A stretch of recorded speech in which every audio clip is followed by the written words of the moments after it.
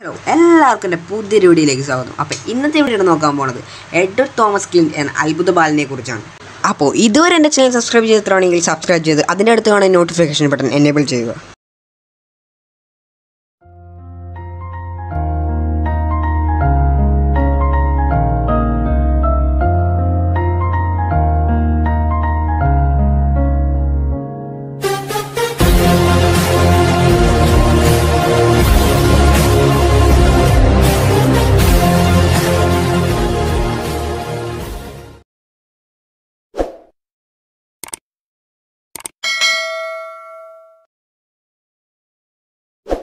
ആയിരത്തി തൊള്ളായിരത്തി എഴുപത്തി ആറ് മെയ് പത്തൊമ്പതിന് കേരളത്തിലെ തുറമുഖ നഗരമായ കൊച്ചിയിലാണ് എഡ്മണ്ട് തോമസ് ക്ലെന്റ് ജനിച്ചത്.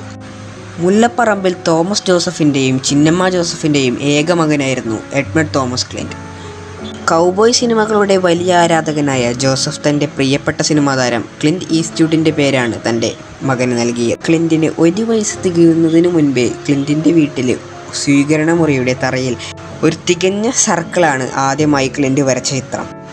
അനുഗ്രഹീതമായ സ്ട്രോക്കുകളുടെയും കലാപരമായ മിഴിവുകളുടെയും ക്ഷണിതമായ വസന്തകാലം.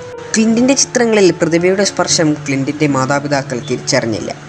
എന്നിരുന്നാലും വരയ്ക്കാനുള്ള അദ്ദേഹത്തിന്റെ ത്വര അവർ മനസ്സിലാക്കിയിരുന്നു. അക്കാലത്ത് സാമ്പത്തികമായി ബുദ്ധിമുട്ടുന്ന അക്കൗണ്ടന്റ് ആണെങ്കിലും ക്ലിന്റിന്റെ എല്ലാ കലാപരമായ ആവശ്യങ്ങളും നിറവേറ്റാൻ ജോസഫ് പരിശ്രമിച്ചിരുന്നു. ബോംബെ ബാംഗ്ലൂർ ദില്ലി എന്നിവിടങ്ങളിലേക്കുള്ള ബിസിനസ് യാത്രകളിൽ കുട്ടികളുടെ പുസ്തകങ്ങൾക്കായി ഫാക്ടറി ഔട്ട്ലെറ്റുകളും ഷോപ്പുകളിൽ നിന്നും ലോക ക്ലാസിക്കുകളുടെ സെക്കൻഡ് ഹാൻഡ് പകർപ്പുകളും എഴുപത്തഞ്ചിലധികം ഷെയ്ഡുകൾ നിറമുള്ള ക്രയോണുകളുടെ വലിയ പാക്കറ്റുകളും ജോസഫ് തിരഞ്ഞു കണ്ടുപിടിച്ച് ക്ലിന്റിന് നൽകുമായിരുന്നു. പലതരത്തിലും ചിന്നമ്മയും ജോസഫും ക്ലിന്റിന് തികഞ്ഞ മാതാപിതാക്കളായിരുന്നു. പ്രകൃതിശാസ്ത്രത്തെ സ്നേഹിക്കുന്ന ചിന്നമ്മ പ്രകൃതിയെ നിരീക്ഷിക്കാനും ഭയപ്പെടാനും ക്ലിന്റിനെ പഠിപ്പിച്ചു. ലോകമെമ്പാടുമുള്ള കഥകൾ ജോസഫ് ക്ലെന്റിന് പറഞ്ഞു നൽകിയിരുന്നു. ക്രിസ്ത്യൻ ഉപമകൾ ഹിന്ദു പുരാണം ഈസോപ്പ് കഥകൾ മോബി ഡിക് റോബിൻസൺ ക്രൂസ് കുട്ടികൾക്കുള്ള ടോൾസ്റ്റോയുടെ കെട്ടുകഥകൾ നഗ്നമായ കൈകളാൽ സിംഹത്തെ കൊന്ന സാംസൺ ആയിരുന്നു ക്ലിന്റിന്റെ വീരന്മാർ. ശക്തനായ ഗേലിയാത്തിലെ കവണയുമായി യുദ്ധം ചെയ്ത നിർഭനായ ദാവിദ്. ബാലി ശക്തരായ കുരങ്ങൻ രാജാവ് ഏറ്റവും വലിയ വില്ലാളിയായ അർജുനൻ അവന്റെ മകൻ അഭിമന്യു ചെറുപ്പത്തിൽ മരിച്ചുപോയ വീരനായ രാജകുമാരൻ മഹാഭാരതത്തിലെയും രാമായണത്തിലെയും ഇന്ത്യൻ ഇതിഹാസങ്ങളിൽ നിന്നുള്ള കഥകളായിരുന്നു ക്ലിന്റിന് പ്രിയപ്പെട്ട കഥകൾ. പ്രതിപാദനായ ചിത്രകാരനും പ്രമുഖ ഇന്റീരിയർ ഡിസൈനറും ജോസഫിന്റെ ഉറ്റ സുഹൃത്തുമായ ജി മോഹനനാണ് ക്ലിന്റിന്റെ പ്രതിഭയെ ആദ്യമായി കണ്ടെത്തിയത്. ക്ലിന്റിന്റെ ഉപദേഷ്ടാവാൻ ജോസഫ് ആവശ്യപ്പെട്ടപ്പോൾ ക്ലിന്റിനെ പഠിപ്പിക്കാൻ തനിക്ക് യാതൊന്നുമില്ലാത്തതിനാൽ ജോലിക്ക് താൻ യോഗ്യനല്ലെന്ന് മോഹനന് തോന്നി. പിന്നീട് വളർന്നു വന്നപ്പോൾ ക്ലിന്റ് മോഹനനെ തന്റെ ഉപദേഷ്ടാവും ദയയുള്ള ആത്മാവുമായി കണക്കാക്കി. മൂന്ന് വയസ്സ് തികയുമ്പോഴാണ് ക്ലിന്റിന്റെ വൃക്കരോഗം ദുർബലമായി തുടങ്ങുന്നത്. ക്ലിന്റിന്റെ വയർ ബലൂൺ പോലെ വീർക്കുകയും കൈകാലുകൾ വീർക്കുകയും മിക്കപ്പോഴും അവൻ തളർന്നു പോവുകയും ചെയ്തിരുന്നു. അസുഖത്തെ നേരിട്ടുകൊണ്ട് മരണം ഏകാന്തത സ്നേഹം എന്നിവ പോലുള്ള ആഴമേറിയതും ഇടതൂർന്നതുമായ തിമിലുകൾ അദ്ദേഹം ഒറ്റയടിക്ക് യാഥാർത്ഥ്യവും പ്രാവണ്യമുള്ളതുമായ കലയെ നിരന്തരം സൃഷ്ടിച്ചുകൊണ്ടിരുന്നു.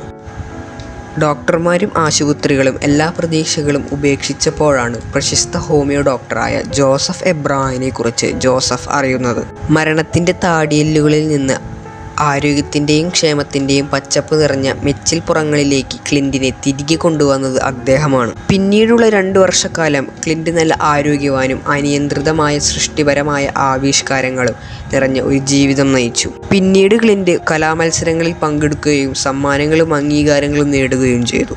കേരളത്തിലെ കോഴിക്കോട് യൂണിവേഴ്സൽ ആർട്സ് സംഘടിപ്പിച്ച പെയിൻറിംഗ് മത്സരത്തിൽ മികച്ച ബാലതാരത്തിനുള്ള ഒന്നാം സമ്മാനവും സ്വർണ മെഡലുമായിരുന്നു അദ്ദേഹത്തിന്റെ കിരീടധാരണം. ഡ്രോയിങ് മത്സരം ഇന്ത്യയിൽ ഇത്തരത്തിലുള്ളതിൽ വെച്ച് ഏറ്റവും അഭിമാനകരമായ ഒന്നായിരുന്നു അത്.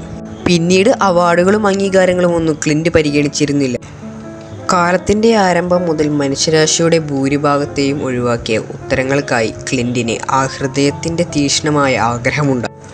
നമ്മൾ എവിടെ നിന്ന് വരുന്നു? മരിക്കുമ്പോൾ നമ്മൾ എവിടെ പോകുന്നു? എന്തുകൊണ്ടാണ് നമ്മൾ മരിക്കുന്നത്? ഏഴാമത്തെ ജന്മദിനത്തിന് ഒരു മാസം ബാക്കി നിൽക്കെ ഒരു ചെറിയ അസുഖത്തെ തുടർന്ന് ആയിരത്തി തൊള്ളായിരത്തി എൺപത്തി മൂന്ന് ഏപ്രിൽ പതിനഞ്ചിന് ക്ലിന്റ് മരണപ്പെട്ടു. മരണത്തിലേക്ക് വഴുതി വീഴുന്നതിന് നിമിഷങ്ങൾക്ക് മുൻപ് ക്ലിന്റ് അമ്മയോട് മന്ത്രിച്ചു ഇത് ഒന്നുമില്ല മമ്മി ഞാൻ പെട്ടെന്ന് ഉറങ്ങാനിടയുണ്ട്. നിങ്ങൾ എന്നെ വിളിക്കുമ്പോൾ ഞാൻ ഉണരുകയില്ലായിരിക്കാം. ഞാൻ ഉറങ്ങുകയാണ്. ദയവ് ചെയ്ത് ദുഃഖിക്കരുത് മമ്മി കരയരുത്. പിന്നീട് ആ ഉറക്കത്തിൽ നിന്ന് ക്ലിന്റ് ഉണർന്നിട്ടില്ല. എഡ്വേർഡ് തോമസ് ക്ലിന്റ് എന്ന ക്ലിന്റ് ഇരുപത്തയ്യായിരത്തിലധികം പെയിന്റിങ്ങുകളും ഡ്രോയിങ്ങുകളും നേടിയിരുന്നു. ഇതുവരെ ഏകദേശം നൂറ് എക്സിബിഷനുകൾ അദ്ദേഹത്തിന്റെ സ്വന്തം സംസ്ഥാനമായ കേരളത്തിൽ സംഘടിപ്പിക്കുകയും അതുപോലെ തന്നെ ലോകത്തിൽ ഒരു ദശലക്ഷത്തിലധികം പ്രദർശനങ്ങൾ നടത്തുകയും ചെയ്തു. അപ്പോൾ ഇന്നത്തെ വീഡിയോ ഇഷ്ടപ്പെട്ടത് ലൈക്ക് ചെയ്യുക ഷെയർ ചെയ്യുക സബ്സ്ക്രൈബ് ചെയ്യുക. അപ്പോൾ അടുത്ത വീഡിയോയുമായി ഞാൻ ഉടൻ തന്നെ വരുന്നതായിരിക്കും. അതുവരെ it's me Ananth Krishna signing out you